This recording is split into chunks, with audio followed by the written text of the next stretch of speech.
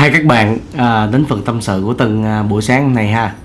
Thì à, mấy câu chuyện vừa qua đó thì có một số bạn hỏi là tại sao ma là cứ phải đi hỏng chân? Thì vì ma là linh hồn mấy bạn. Ma nó không có phải là người ta cho nên không thể nào mà chân đạp xuống đất được. Nó cứ bay lơ lửng vì nó không có thể xác. Nó chỉ là một cái hồn mà thôi. À, có người nhìn thấy ma ở những nhiều hình ảnh khác nhau. À, đôi khi là một cái hình à, dáng hòm hòm à, giống như là một miếng vải hay là cái gì đó hay cái khăn gì đó nó bay ở trong à, mỗi buổi tối mỗi đêm. Thì có người nhìn thấy bóng đen có người nhìn thấy bóng đỏ. Thì đỏ là thành quỷ các bạn mà đen cũng có khả năng là quỷ chứ không phải là ma. Thì à, ma quỷ á, là một trong những cái khái niệm mà người ta là một cái đề tài mà người ta kể rất là nhiều à, qua hàng thế kỷ. Thì một cái đề tài mà nếu như người ta có thể kể nhiều đến như vậy chắc chắn là phải có sự tồn tại của nó thì uh, hôm nay là phần tâm sự của tân. Nhưng mà để đáp ứng một số nhu cầu của các bạn thích nghe chuyện ma thì phần tâm sự của tân nó cũng sẽ có một số mẫu chuyện ma ngắn thôi. Nó không có dài nó không có đủ tình tiết. À, nhưng mà mong rằng là các bạn sẽ thích. À, để mà nghe những phần tâm sự này thì các bạn đừng có quên là ấn nút subscribe à, và nhớ chia sẻ rộng rãi à, kênh của Tân. Thì à, Tân là một cái người à, bị dị ứng với lại thuốc giảm đau. À, tức có nghĩa là à, Tân khi Tân bị đau hay là bị chảy máu à, gãy tay gãy chân gì đó thì người ta sẽ phải à, điều trị à, bằng thuốc giảm đau. Còn Tân là Tân không được uống thuốc giảm đau. Mà Tân phải tự vượt qua điều đó thì tại sao Tân biết về cái cơ thể của mình? Thì là năm đó là năm Tân học lớp à, 11 thì à, Tân giỡn với một người bạn trong lớp thì lúc đó là không phải là Tân giỡn nữa mà là các bạn biết cái thời kỳ đó là mới có truyền hình cáp. Cho nên là mấy cái chương trình mà Smackdown á đó, nó cứ uh, diễn ra thì bạn bè của Tân thời đó nó nhiễm. Thì uh, lúc mà ngủ buổi trưa chung với lại mọi người á thì là Tân ngủ nó Tân ngủ rồi. Thì uh, bạn của Tân nó nhảy từ trên cao nhảy xuống trúng ngay bả vai của Tân thì nó bị trật thì à, cái trật đó nó cũng không có đến nổi. Nó chỉ là giống như là mình bị trật khớp thì mình chỉnh lại thôi. Thì à, bên nhà trường mới đưa Tân vô à, trung tâm y tế. Thì vô trong đó người ta không có xét nghiệm là Tân à, bị cái gì. Nhưng mà người ta cũng hỏi Tân là có dị ứng gì hay không. Nhưng mà từ đó đến giờ thì Tân không bị dị ứng một loại thuốc nào. Cho nên là tân uống à, thuốc vô thì ngay chiều hôm đó là mắt tân sưng mũi tân sưng. à, và tân không có thở được. Thì rất là may mắn là kế bên nhà có một anh bác sĩ. Mà anh này là phó à, viện trưởng của cái bệnh viện à, ở trên đường à, lê văn sĩ á. Thì vào thời điểm đó đêm hôm đó là chiều tối là tân nhập viện thì à, bác sĩ cho uống thuốc này kia thì đưa lên cái phòng. Phòng đó có bốn người. Phòng cũng lịch sự lắm bạn phòng lịch sự bốn người. Nhưng mà lúc đó tân cũng chưa có mừng tượng rõ bệnh viện là bệnh viện đa khoa hay là bệnh viện tư nhân gì đó mà ở trong này là có bốn giường cái phòng của tân có bốn giường. Tân nằm ở giữa trung tâm. À, bên tay phải của tân á, là một cái bác mà bác này bị bệnh tuyến giáp. À, ngay cổ. À, cái anh bên tay trái á, thì anh này không có nói được. Anh này bị uh, tai nạn giao thông. Và ảnh nằm trong bệnh viện là 4 năm rồi. À, nhưng mà mình nhìn ảnh thì giống như ảnh đã, đã dần dần hồi phục. Nhưng mà ảnh không có thở được. Ảnh phải ảnh phải khạc đàm mà thở bằng cái ống cắm ngay cổ nè. và ở dưới chân mình là một cái giường. Thì cái giường đó là nó là của anh nó ảnh ảnh đi mổ uh, viêm xoang. Thì tân là người bị dị ứng tân nằm ở đó. Thì đêm đầu tiên á đêm đầu tiên thì uh, tân mê man tại vì tân mới nhập viện mà uống một đống thuốc để nó giải cái chất độc của cái uh, thuốc giảm đau ra. Thì là kế bên có một cái ghế bố là y tá nằm đó luôn là túc trực luôn. Tại vì sợ tân bị uh, sốc thuốc nữa đó. Thì đến sáng thì tân khỏe. Nó nhưng mà tuổi mình lúc đó nó khỏe lắm nó trâu bò lắm. Nhưng mà bác sĩ vẫn phải giữ lại một tuần lễ để mà xem xét. Cũng như là coi coi tình trạng của tân nó có chuyển biến gì hay không. Nói chung bác sĩ cũng kỹ mà. Tại cái à, người phó viện trưởng là hàng xóm của mình. Cho nên là người ta cũng quan tâm mình người ta thương mình. Tại vì người ta nhìn thấy mình từ nhỏ đến lớn á. Đó thì cái đêm thứ hai ngày thứ hai là bắt đầu là tân đã tìm hiểu được những người nằm xung quanh mình. Thì cái anh kế bên á cái anh mà mà bị à, tai nạn giao thông á anh cắm cái ống ngay cổ nè thì anh đó là cách đó 4 năm anh bị một cái tai nạn giao thông. Thì cái người bạn mà chở ảnh á, là chết ngay tại chỗ. Còn ảnh là bị hôn mê chấn thương sọ não hôn mê 2 năm. Và đến năm thứ ba đó, ảnh tỉnh dậy. Thì ảnh đang ở trong cái tình trạng là phục hồi chức năng cơ thể của ảnh ảnh không có khạc đàm. Có nghĩa là con người ta con người mình có đàm. Nhiều như bạn nghe tân nói chuyện tân bị bệnh á là tân sẽ khò khè khò khè. Thì đó là do đàm. Đàm nó đi đi từ phổi lên nên nó đẩy những chất nhờn ra.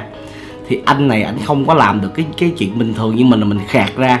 Còn ảnh là ảnh có cái ống cắm ngay đây nè. Thì mỗi ảnh mà muốn khạc đàm á ảnh phải khiều mẹ ảnh. Là mẹ ảnh mới mở cái nắp ở ngay cái, cái cổ này ra. Ảnh mới hít một cái là cái đàm nó đi từ đây nó văng ra. Thì mẹ ảnh phải chùi chùi cái cái ống đó làm vệ sinh cái ống ờ, cái ống nó cho ảnh. Ảnh không có nói chuyện được bạn ảnh cũng không nói chuyện được. Thì à, đêm thứ hai thôi là mình đã không ngủ được rồi tại vì à, mình ba gia đình mình không ai được ở trong đó hết. Thì cái phòng đó bốn người mà chỉ có một, một cái cô đó là mẹ của cái anh mà bị tai nạn á, mới được ở lại thôi. Tại vì cái anh đó là trường hợp nặng. À, bạn cái như là mình nhìn ảnh rất là bình thường giống như là đang hồi phục nhưng mà ảnh đang trong trường hợp rất là nặng thì à, mẹ ảnh được túc trực ở đó còn mình thì không ai á mình có một mình mình thôi. À, buổi sáng gia đình mình mới mang à, đồ ăn vô cho mình thì mình nằm ở trong đó. Thì đêm á là cái cô này cũng cực lắm có nghĩa là anh này cứ bị khạc đàm liên tục có nghĩa là ảnh không có phải là ảnh, ảnh ngủ như người ta đâu ảnh bị khạc đàm liên tục thì cổ phải đi giặt khăn. Cổ chạy đi lên đi xuống toilet của giặt khăn liên tục luôn. Thì à, mình là người nằm kế bên thì cổ cũng nhờ mình cô nói nếu ví dụ như nó khạc đàm á con thông cảm á, con con lao giùm được không? Thì mình cũng uh, giúp. Nó mình còn uh, nhỏ mà thì mình thấy một người bị vậy mình cũng động lòng mình giúp. Thì uh, mình giúp đó mình thấy anh cũng dễ thương lắm bạn. Anh cũng dễ thương mà anh không nói được. Tại vì cái cổ bị vậy sao nói? Thì uh, đêm đó ngủ á thì mẹ của anh ngủ thì mình mình nghe tiếng khóc. Đó mình nghe tiếng hít hít hít khóc mình mở mắt mình nhìn thì thật sự mình không có dám nhìn nhiều, tại vì mình biết bệnh viện á, là hay có những cái linh hồn lắm. Và vì nghe tiếng khóc là mình sợ lắm, nhưng mà mình nghe tiếng khóc này thì mình thấy là ảnh là người khóc, mình mới quay qua mình nhìn ảnh. Mình nhìn ảnh thì mình thấy ảnh đang ảnh đang khóc và ảnh đang nhìn ở cuối giường của ảnh. Ảnh đang nhìn cuối giường mà ảnh là ảnh ảnh giơ ngón tay vậy nè, ảnh giơ ngón tay vậy. Thì mình mới nhắm mắt, mình sợ quá, mình nhắm mắt, mình quay qua cái chú kế bên mình cố gắng mình niệm phật mình ngủ tại vì mình thấy cái hành động của những cái người này mình sợ lắm bạn. Sáng hôm sau thì à, vì cái bệnh viện đó, nó đông quá cho nên có một cái anh người dân tộc anh mới xin đi vô cái phòng của mình để đi toilet nhờ thì khi vô đi toilet nhờ anh mới nhìn qua cái anh mà giường kế bên của mình á. Anh mới nói là là kêu mẹ của anh này á là bây giờ một á là chuyển anh này đi lên chùa. Hai á là đi mua gạo muối giấy tiền vàng bạc đốt cầu đi. Chứ còn cái thằng bạn mà nó chết đằng trước đó nó đang đi theo á mà nó muốn lôi mạng con bả theo. Và nó không có à, cho anh này sống đâu. Thì lúc đó bốn bốn người trong phòng á là bốn bệnh nhân và luôn cả mẹ của anh này á rất là hoang mang trước cái lời nói của cái anh người dân tộc. Ảnh là người tây nguyên anh xuống đây ảnh lo cho vợ ảnh bệnh mà ảnh nhìn thấy. Ảnh nói là ảnh nói tiếng tây nguyên.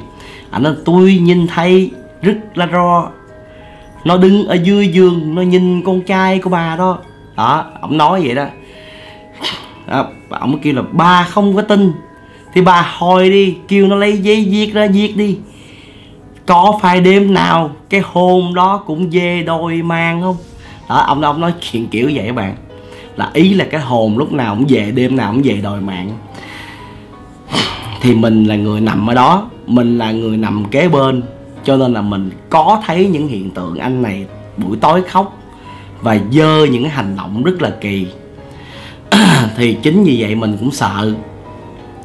Thì bà mẹ đó, bà mới đi xuống, bà mua một ít muối gạo và bà mua ờ, mấy cái bánh nhưng mà ở trong bệnh viện phòng của mình là phòng máy lạnh. Bà không thể đốt nhang nữa bạn. Bà đốt nhang mà làm là y tá à, bảo vệ, người ta không có cho. Đó, cho nên là bà để ở đó, bà để ở đó xong rồi bà không biết cách nào. Thì những người trong phòng của mình á bạn cũng biết rồi là trong đó có người bị xoan rồi bị tuyến giáp đủ thứ bệnh đó bây giờ cái khói mà đốt lên vì cho bà đốt đi cũng được, nhưng mà có điều là cứ hai tiếng bác sĩ đi kiểm tra một lần. Thì bây giờ không biết cách nào để mà giúp bả không? Thì kêu bà vô toilet, bà đốt đỡ đi. Thấy không? Bà đốt đỡ trong toilet đi, bà cầu. Thì biết đâu mà giúp được, chứ bây giờ ở đây bác sĩ vô ta đuổi. Thì bà vô toilet, bà đốt. Bà đốt bà mới bật hộp quẹt, bà đốt một xíu thì y tá họ nghe mùi. Họ vô, họ chửi, họ đuổi ra. Họ nói làm gì không được, ảnh hưởng đến bác, ba bệnh viện. Thì mình là người chứng kiến rất là rõ cái sự việc ngày hôm đó. Tự nhiên ảnh đang là một người rất là bình thường đúng nghĩa mình nói thẳng luôn ngoài cái chuyện ảnh cắm một cái độ ngay cổ ra ảnh khạc đàm mỗi ngày ra thì không có cái gì là bất bình thường hết. Thì đêm hôm đó mình ngủ mình ngủ rất là say.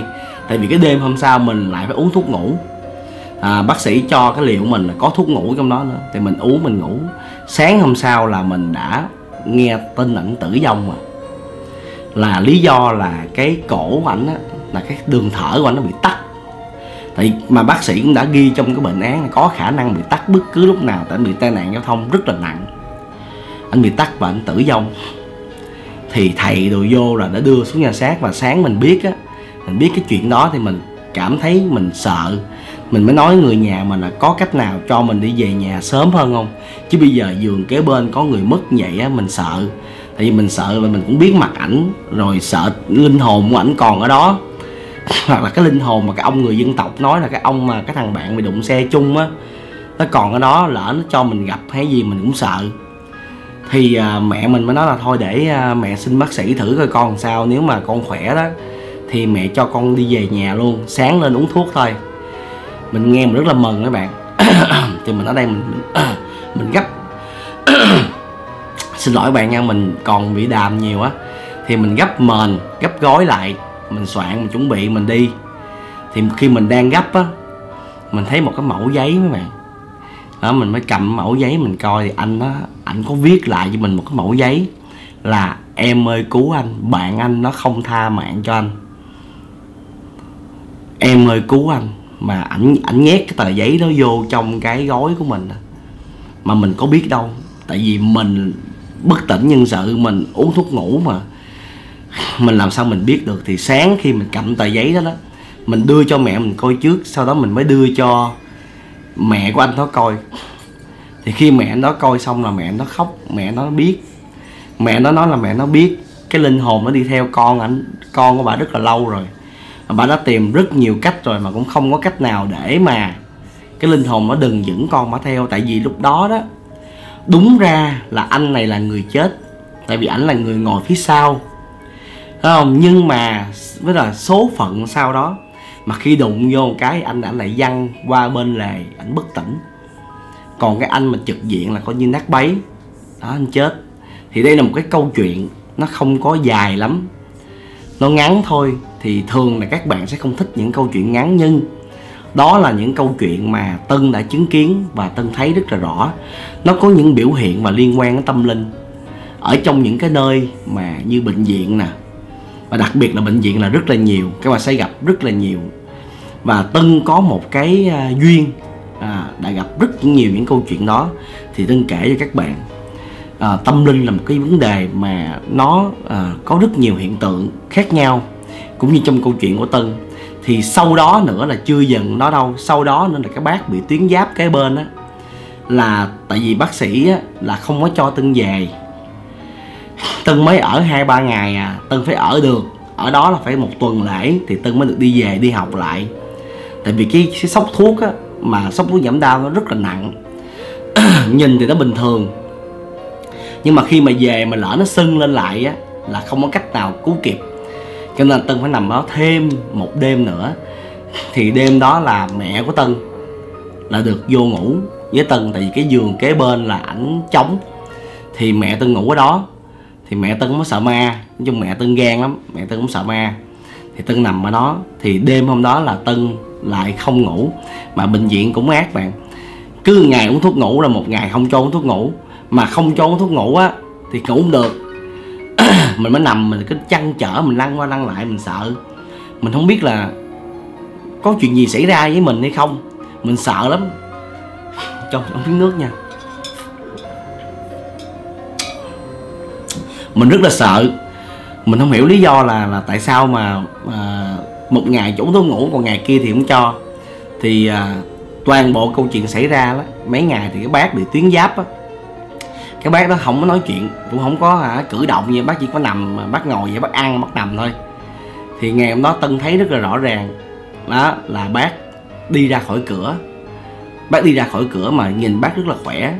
Bác đi ra khỏi cửa xong tân không thấy bác chở vô à tại vì tân nằm hoàn toàn là tân không có uh, ngủ. Nhưng mà tân xoay cái hướng của tân á là về hướng mẹ của mình. Tân đắp mền tân xoay về hướng mẹ của tân tân ngủ. Thì tân nhìn tân thấy bác đi ra ngoài mở cửa đàng hoàng các bạn. Mở cửa đóng cửa đàng hoàng không hề có cái gì bất bình thường. Nhưng mà tao mà khi mà thấy đi ra ngoài một cái á là bắt đầu là tân ngủ. Đó là tân bắt đầu tân ngủ tân thêm thiếp thêm thiếp thêm thiếp dần dần thì đến khoảng à, uh, 3 giờ sáng là tân thấy hai cô y tá đi vô và bắt đầu đẩy bác này đi ra và bác này cũng mất ở trong cái phòng đó luôn. Mà rõ ràng là tân thấy bác có đứng lên đi ra khỏi cửa phòng mà bác mất kế bên mình hai người. Đó là năm tân học lớp 11 và tân chứng kiến rõ sự việc đó. Thì đến ngày thứ năm là tân trốn viện à đến ngày thứ năm là tân trốn luôn tân về nhà luôn kệ nó. Chứ tân sợ quá tân mở đó được. Nhà tân thấy cảnh đó sao tân ấy dám mở? Giờ phòng bốn người có hai người lên đường rồi. Thấy không? Thì rút cuộc là tân đi về. Cứ sáng là tân lên sớm tân à, lấy thuốc. Uống thuốc xong là tân về. Thì bác sĩ nói là tân khỏe rồi tân thôi à, không có ở lại nữa. Thì đó là những sự kiện mà tân nhìn thấy à, trong cuộc đời của mình và tân thấy rất là rõ những cái chuyện đó và tân chia sẻ các bạn trong cái tâm sự của ngày hôm nay. Tại vì tân biết à, các bạn rất là thích nghe những câu chuyện tâm linh nhưng mà tâm linh á nó rất là ghê. Đôi khi nó ảnh hưởng đến mình rất là nhiều. Tại vì có những bạn nói với tân là từ khi nghe chuyện tân kể á là thường bị ám ảnh. Thì ám ảnh phải ngưng lại.